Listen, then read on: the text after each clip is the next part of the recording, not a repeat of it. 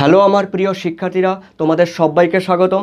তোমরা যারা একাদশ শ্রেণীতে বা তোমরা এগারো ক্লাসে পড়াশোনা করছ এবং তোমাদের ভূগোল সাবজেক্ট আছে, তো সেই ভূগোল সাবজেক্টে তোমাদের প্র্যাকটিক্যাল নিয়ে তোমরা অনেকে টেনশানে থাকো আর প্র্যাকটিক্যাল তোমরা করতে পারবে কি পারবে না, সেই নিয়ে তোমাদের একটা হীনমনতা কাজ করে। তো অনেকেই আছো আবার প্র্যাকটিক্যালে যেহেতু ভূগোলে প্র্যাকটিক্যাল আছে, তাই ভূগোলে তোমরা কী করে দাও? ভূগোল নিয়েও তোমরা সাবজেক্টটি ছেড়ে দাও।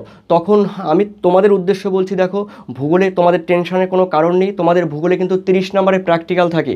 আর এই তিরিশ নম্বরের মধ্যে তোমরা মাথায় রাখবে, কুড়ি নম্বর তোমাদের প্র্যাকটিক্যাল থাকবে মেনলি আর দশ নম্বরে তোমাদের স্কুল থেকে থাকবে প্রজেক্ট অর্থাৎ তিরিশ নম্বর আর এই তিরিশ নম্বর যে যেহেতু তোমাদের প্র্যাকটিক্যাল আছে, আর এই তিরিশ নম্বর কিন্তু তোমাদের স্কুলের স্যার বা ম্যাডামরাই তোমাদের নাম্বার দিয়ে দেবে। তো তোমরা দেখো, এই তিরিশের মধ্যে কেউ আঠাশ উনত্রিশ, অনেকে তিরিশ পেয়ে যাও।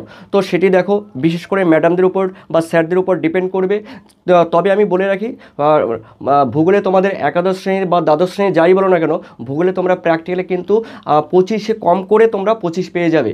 আর একটু যারা ম্যাডাম বা স্যারদের সঙ্গে যদি একটু প্র্যাকটিক্যাল না তোমরা একটু তাদের সঙ্গে কথোপকথন করো বা তোমাদের প্রবলেমগুলো দেখাও, অবশ্যই তোমরা কিন্তু ভূগোলে প্র্যাকটিক্যালে উনতিরিশ, আঠাশ, এটা তোমরা এই নাম্বার অবশ্যই তোমরা পেয়ে যাবে। তো টেনশনে তোমরা কারণ নেই। আর ভূগোল নিয়ে যারা নিয়েছো আর নেওয়ার পর যারা ছেড়ে দিয়েছ, আমি অবশ্যই বলব তোমরা ভূগোলে ফিরে আসো।